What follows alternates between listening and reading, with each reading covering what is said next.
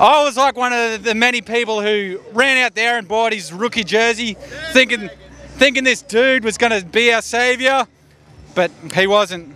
So, Greg, today I'd like to uh, officially make closure and burn my Russell jersey. Well, you know, it's it's an emotional moment, the Raider Nation everywhere, because you know number two means number two. Oh! Ever since I was a child. These aren't mine. Oh! Skittles! Oh, just Skittles. Look at the jersey. There it is. Russell, number two. And you know, that's an authentic jersey. So that's no bullshit right there, I'm telling you. Only way for closure.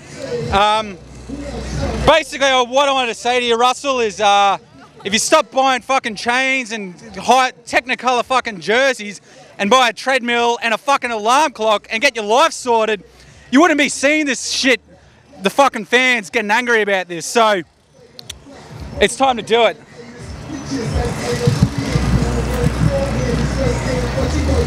Well, here you go, Raider Nation. that's uh, that's tragic. Uh oh, that's that's good. Don't don't get too close to it. Oh man. Can you open the car door? Woo! Woo!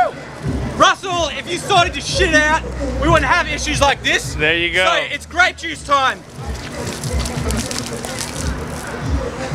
I hate you, JaMarcus Russell. Get your life sorted. You, you flew all the way over here from Australia for that. You know, fuck him.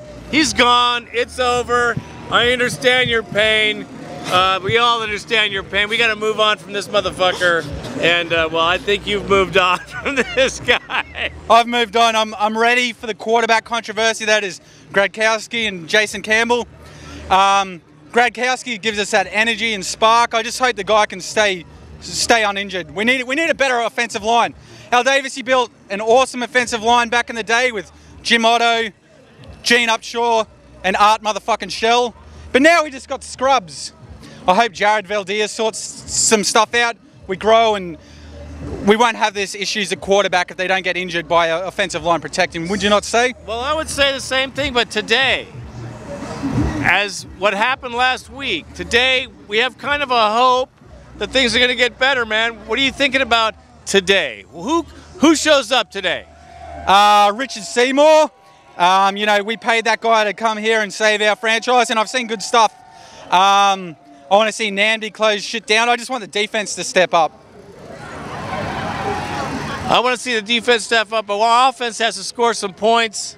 I think if we play half as good as we did last week, it's going to be off the fucking hook, man. Hey, thanks for traveling so fucking far. Listen, man, listen, you motherfuckers out there. This guy comes all the way from Australia to come and get an ass in the seat to see his fucking team. That's commitment. Yeah. We want to say that's a great fucking fan. No, no doubt. I got to tell you. All right, and just one final shout out. Crusader, Raider, I'm going to see you next week. It's going to be Australia versus England. You bring home the motherfucking ashes. Oh! The gauntlet has been thrown down. See, that's, yeah. that's Look at the guns on this guy, man. Check him out right here. All right, Popos are the three. We better get this stuff sorted. Love you, 5 -0.